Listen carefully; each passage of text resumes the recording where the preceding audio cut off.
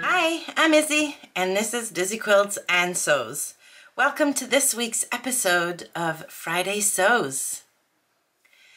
All right, so I think it's going to be a pretty quick one this week because I've not done a whole lot down here this week. I had um, other things on my calendar, such as getting some last minute things done for my trip. I had a very nice dinner with a bunch of friends from my workplace, actually, a few of them who have gone a lot of years ago, but we kept in touch. And so five of us got together for dinner last night and it was amazing. It was really, really nice to see everybody again.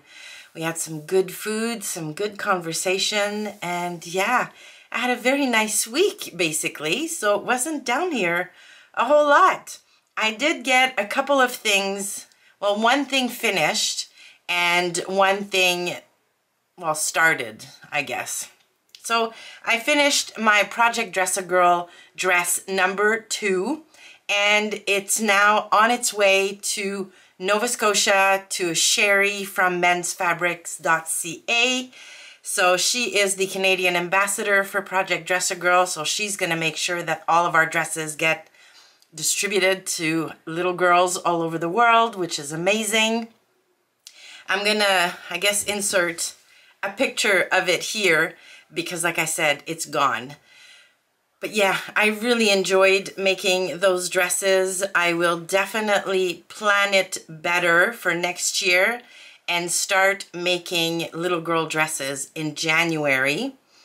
I can't really commit to making little girl dresses before the holidays because I expect that as soon as I'm back from Charlotte Frocktails in October it's going to be pedal to the metal to get all of my Christmas sewing done.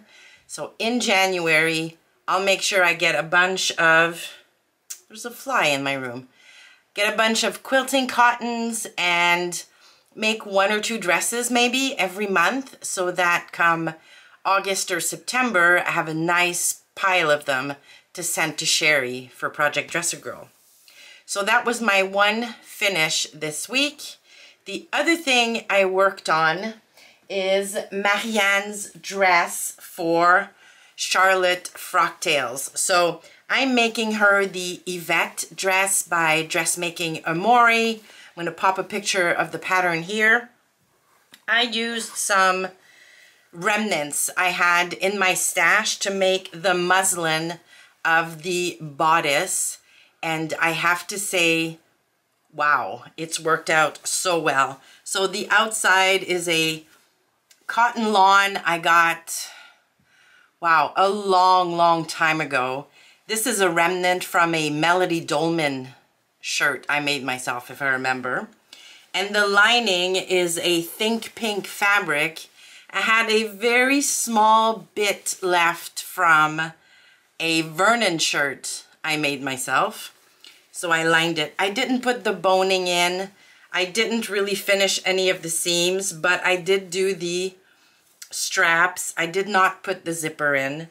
And Marianne came over after work, today actually, to try it on and it fits her like a glove, like it fits her perfectly. And she is so excited.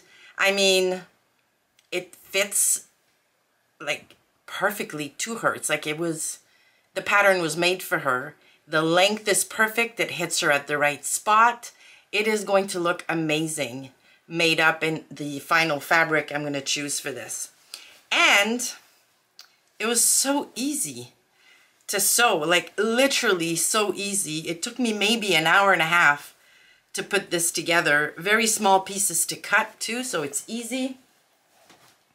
I'm so excited, but the best part is she is so excited. so now I can't wait to start working on the final dress. And I actually was not gonna sew um, until I leave for Greece because it's a long weekend here. So it's Labor Day on Monday. It's gonna be a long weekend. We're going to the island, might even stay over an extra day.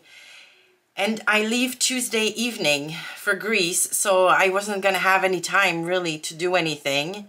But now I'm thinking I might cut the fabric for Marianne's dress, like the lining and the exterior fabric, so that when I get back from my trip, I can get right to sewing. And hopefully, maybe even by the end of September, be all done with our Frocktails outfits. Maybe. You know what they say about best laid plans. So, yeah. So all that to say that this is it. This is all I've gotten up to. Let me get back to the middle. That's all I've gotten up to in the sewing room this week. And uh, yeah, I'm not making any plans for sewing between now and my flight. There really would be no point. So that's it in the sewing department except that I wanted to share something that arrived in the mail um, last week, a little while ago.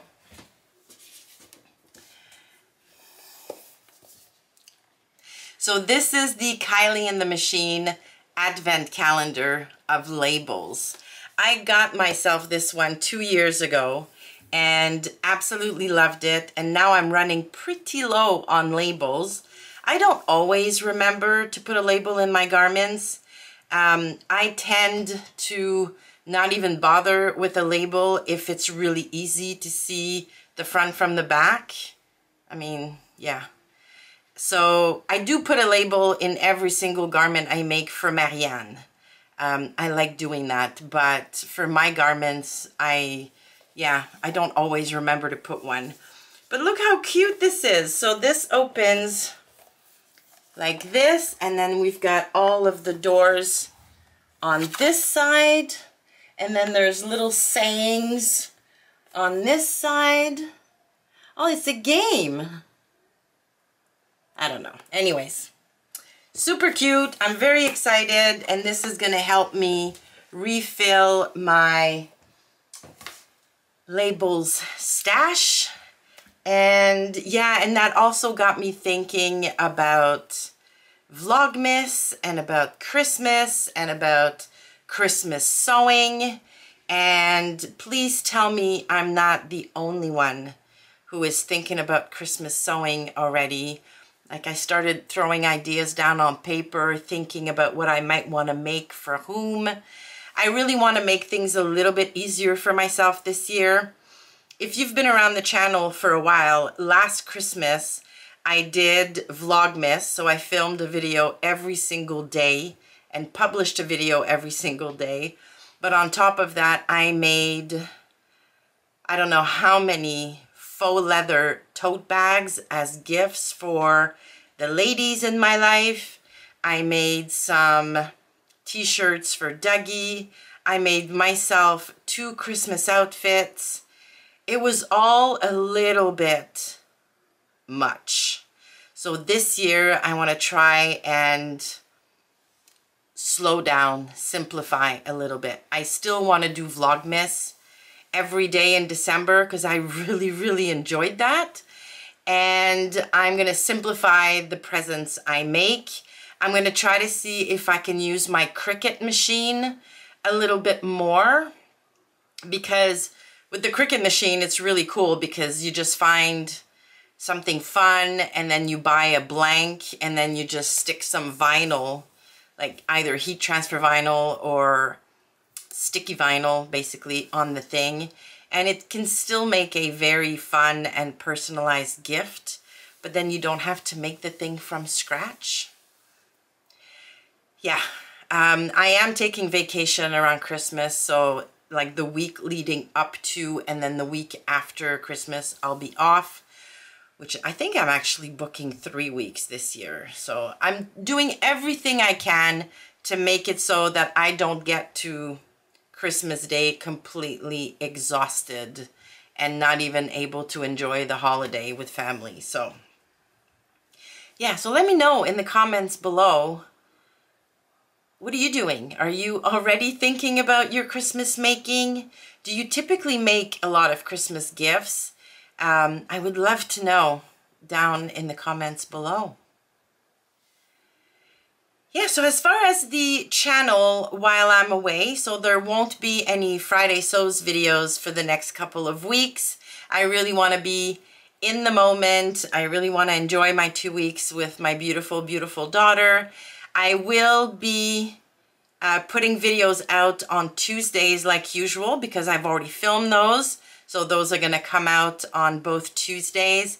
And I will also be taking lots and lots of pictures and maybe even some videos and I'll put all of that up on Instagram.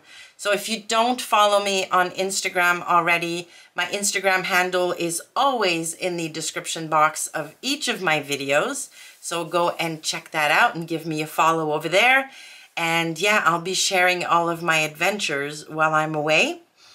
And then of course, when I get back during my first Friday sews after coming back, I'll give you all a very quick recap and maybe share a few pictures as well. Finally, a big, huge thank you to Brenda who bought me a few coffees recently. So thank you so much, Brenda. And if you're curious about what that is, there's a link to my Ko-fi account down in the description box. And that's basically like a virtual tip jar um, where you can support your favorite YouTubers or creators by just giving them a tip or buying them a coffee. So there you go. That's going to do it for me this week. I thank you very, very much for stopping by and watching the video today. Please give it a like on your way out if you liked it and consider subscribing to the channel. Thanks again and I will see you soon.